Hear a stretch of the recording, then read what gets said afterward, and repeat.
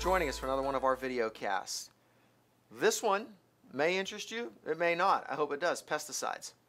I hear a lot of bantering. I see a lot of uh, information in the in the media, which I don't put a whole lot of stock in from multiple uh, perspectives, uh, saying organic foods, even locally grown foods versus large conglomerates that produce food. No big deal. There's no difference.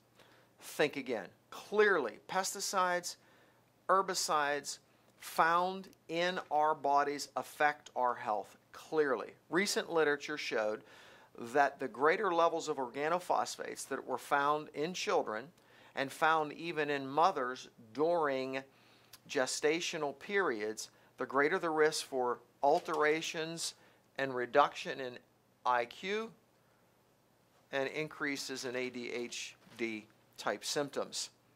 Pregnancy.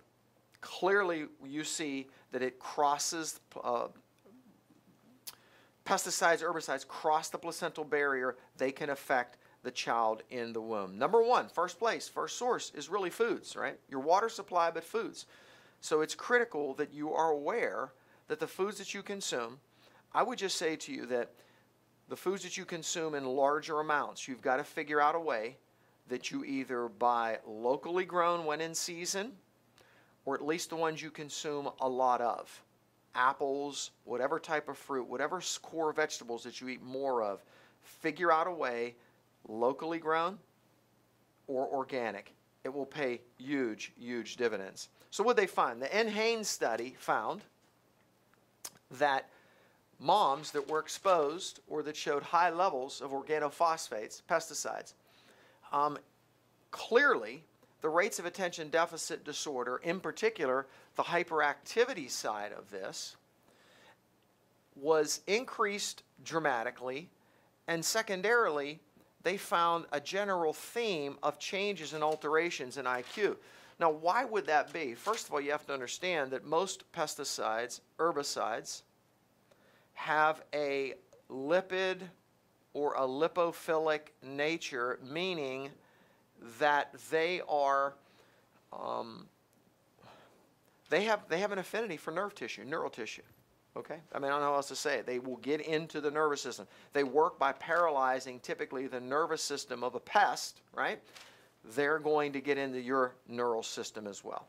Limit your exposures, number one. If you're pregnant, limit your exposures. You've got to take heed to what we've talked about here. Number two, try to enhance your detoxification.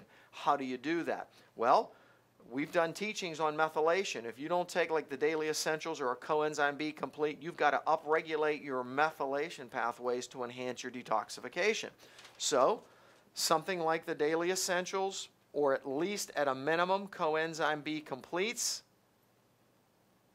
The other thing you need to think about is some buffered C. Why?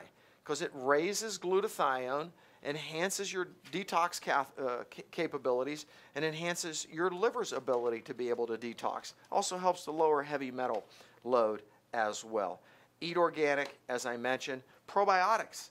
Think about probiotics because it enhances how you eliminate in the final phase of your detoxification. Remember, phase phase one happens in the liver, phase two happens in the liver, but you've got to detoxify at a cellular level.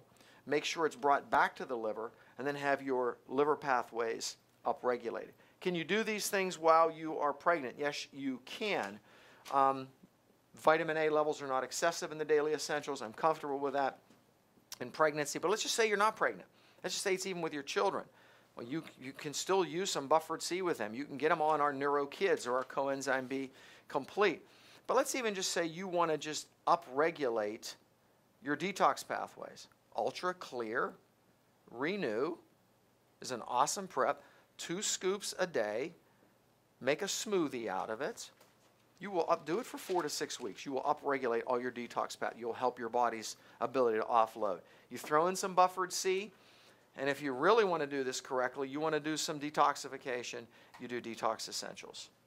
One to two twice a day before meals. What about foods? High fiber diet, onions and garlic, cruciferous vegetables broccoli, cauliflower, cruciferous vegetables.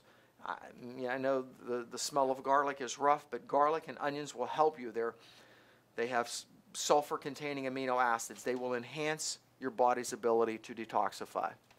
Pesticides. Can they affect the child while it's developing in the womb? Clearly. Can they affect your child um, as a four and five and eight year old in development, in IQ, in attention deficit hyperactivity? Take it to the bank. It's in the literature, it's black and white. So whether you help yourself while you're carrying that child or you help the child once they're four, five, six years old by reducing exposures and helping some of their detoxification, it's all good. Links, pesticides, herbicides to brain health and function of your child. God bless you. Thanks for being with us. See you on the next videocast.